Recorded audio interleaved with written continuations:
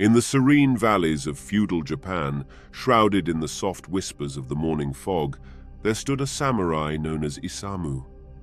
His prowess in battles was legendary, and his name was whispered amongst the people with reverence and fear. Yet, after all those battles that he fought on battlegrounds, within Isamu's heart still raged a war far greater than any he had fought on the battlefield.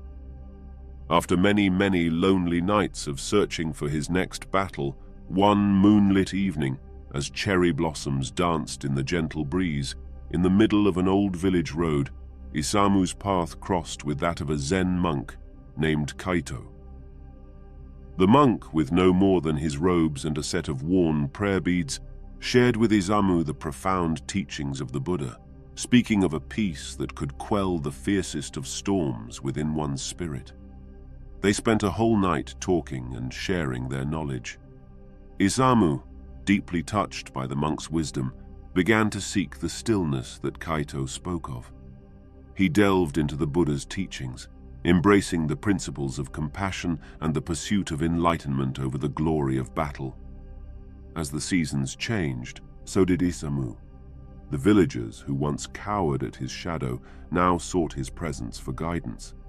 Isamu had become a symbol not of fear, but of hope, a testament to the strength that lies in kindness. With the passage of time, Isamu's tales of valor were overshadowed by the legacy he carved as a sage. His insights, sharp and clear as the edge of his sword, sliced through the veils of ignorance and suffering.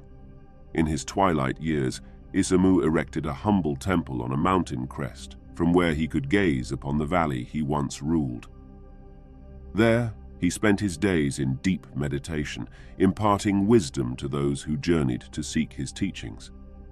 The legend of Isamu, the samurai who exchanged his sword for the staff of enlightenment, resonated through generations.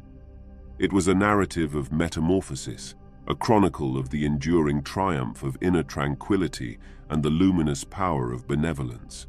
Many other soldiers and warriors acknowledged Isamu's teachings and sheated their swords for the last time to continue following Isamu's path to enlightenment and inner peace.